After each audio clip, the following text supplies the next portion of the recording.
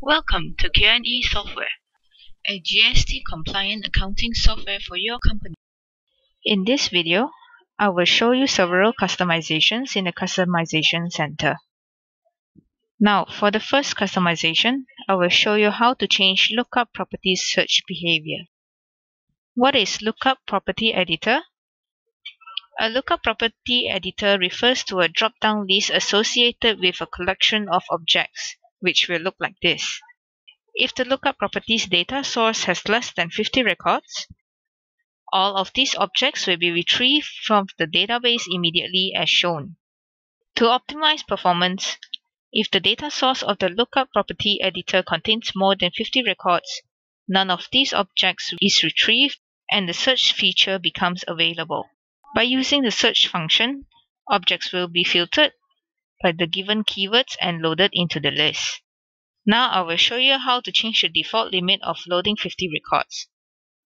First open up the customization in the Tools menu. Then open up this model. And go to Options. And at the Lookup Small Collection item count, change the value here.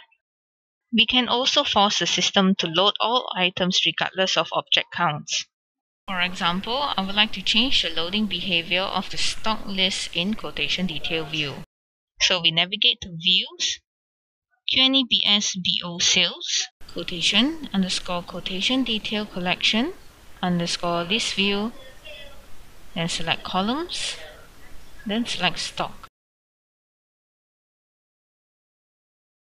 At the lookup editor mode, change to all items. Now let's log off from the system to let the new settings take effect. Now log in again.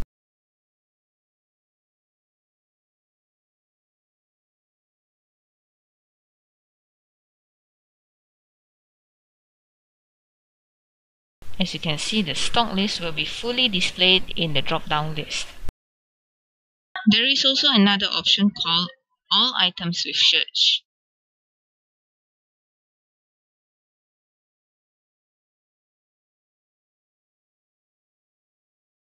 This is where the search function will appear. Now for the second customization, I will show you how to log stock items sales price for other users. First, let's create a new security system role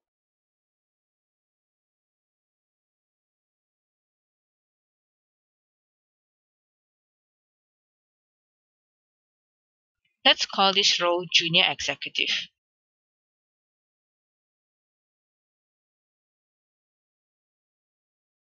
At the drop-down list, select All.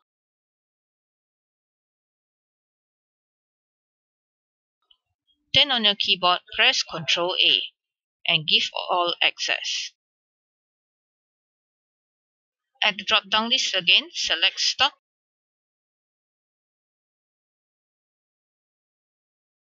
then double-click into Stock Item. In the Security Operation Permission screen, tick Navigate Only. And at the Member Permissions tab, click on New. In the Members field, select Sales Price, then click on OK. Remember to tick on the Read checkbox.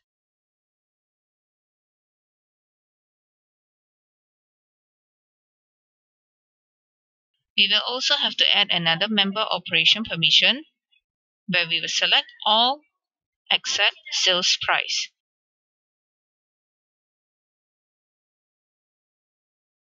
Untick the checkbox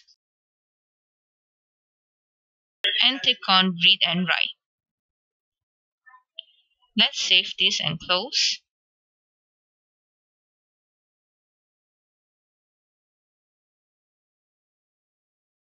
Now create a new security system user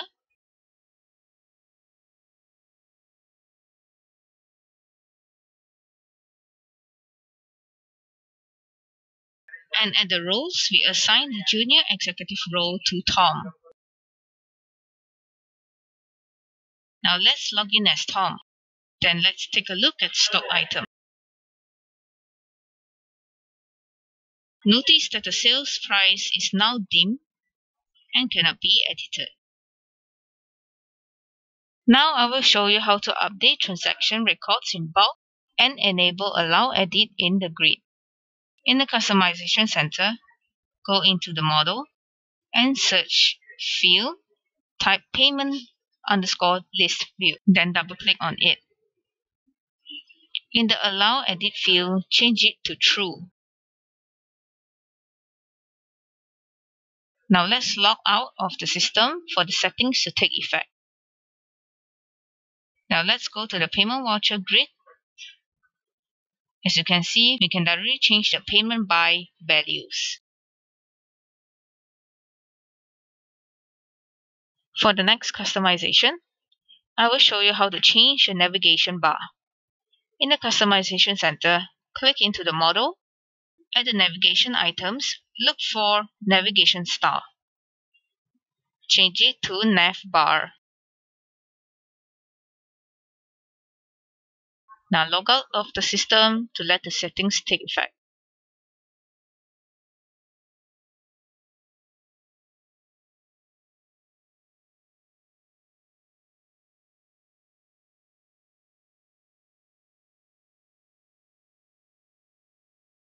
As you can see, the navigation panel display has been changed. In the next customization, I will show you how to create a validation rule to control the selling price cannot be less than the purchase price. First, let's go into the model. Then in validation, right-click on rules and select add rule criteria. Key in the information as shown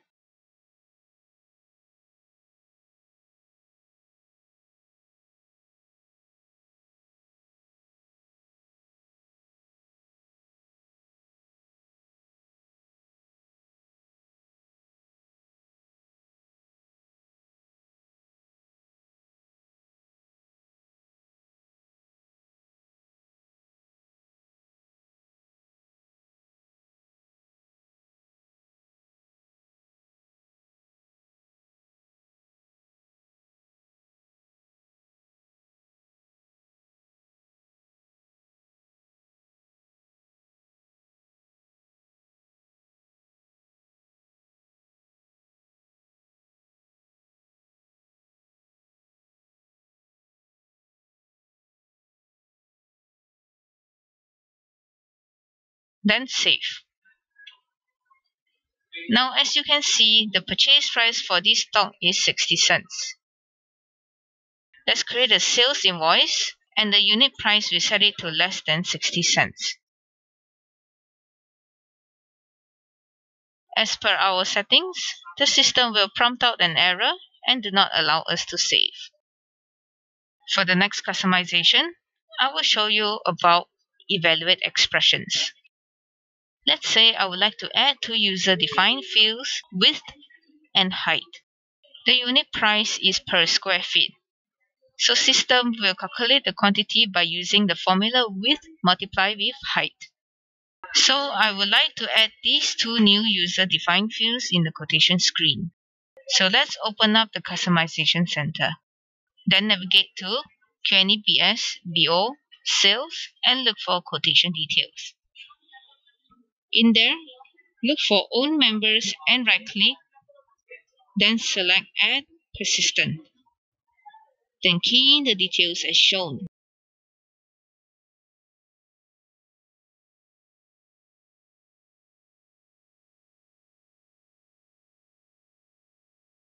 Repeat the same steps to add another field for height.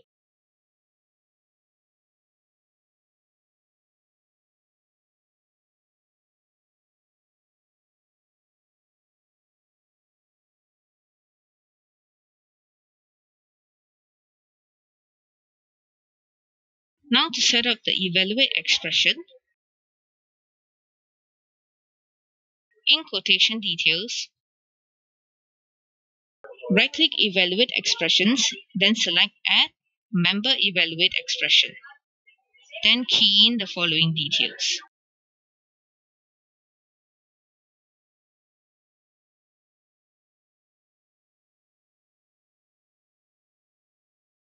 Now let's issue a quotation. In the quotation details, right-click and choose Column Chooser. Click on Add and select Width and Height, then drag it to the column header. Now let's select paper as stock code and the width is 20 and the height is 5. Now you can see that the quantity automatically calculates as 100. For the final customization, I will show you how to customize and display multi-UOM in sales invoice format. In the Customization Center, in BO Model, QNEBS BO Stock, open up Stock and at the Own Members, right-click and select Add New Persistent. Fill in the information as shown.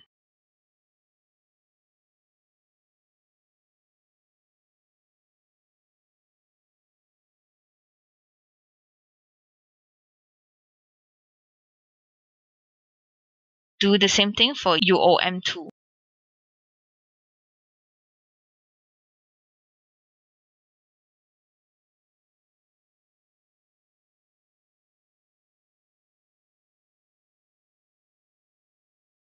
Then save and log out from the system. Log in back to apply our customization to the layout. In the stock item, as you can see, we have multiple UOMs. Right-click on the header and select Customize Layout. Add UOM1 and UOM2 to the layout.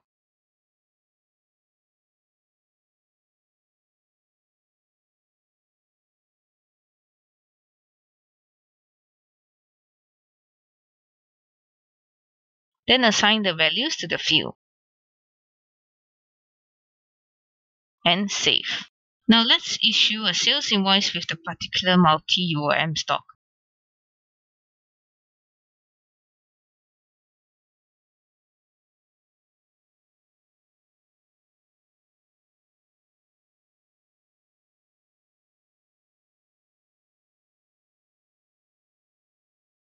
As you can see, the current format of the tax invoice only shows one UOM.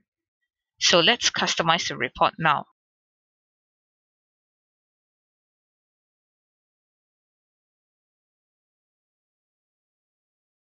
The first UOM that I want to see is bags.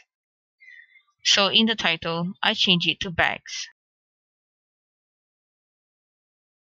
Then at the sales invoice detail collection, Right-click and select Add Calculated Field.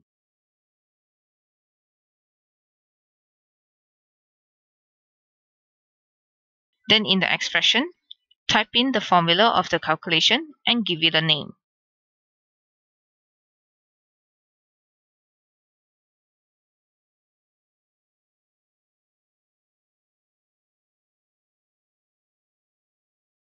Now drag the newly created calculated field and apply it to the field. Next, I want to add another column to reflect the other UOM. So right click here and select Insert, Cell, then rename it. Remember to add at the details column as well. Now create another calculated field and define the calculation formula and rename it.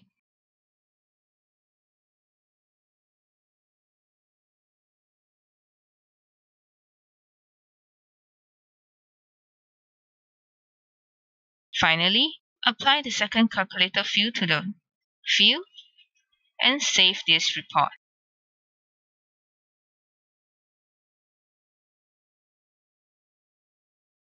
Close the invoice for the new report format to appear.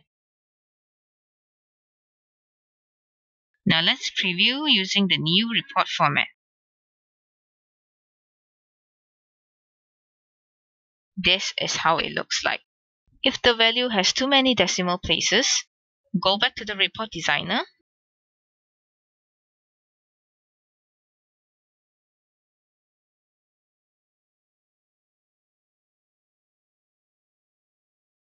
Click on the small arrow at the corner of the Details view.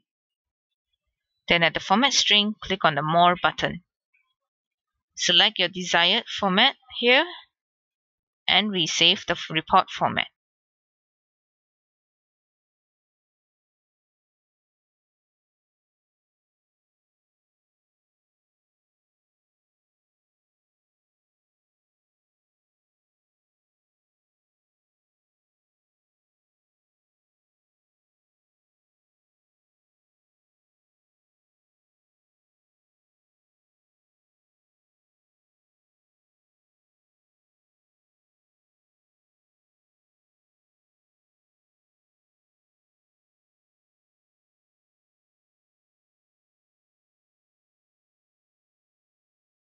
This is the end result of the customization.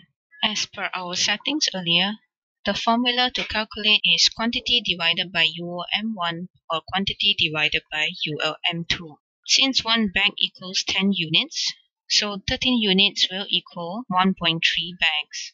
As for cartons, one carton equals 12 units, so 13 units will be 1.08 cartons. Thank you for watching.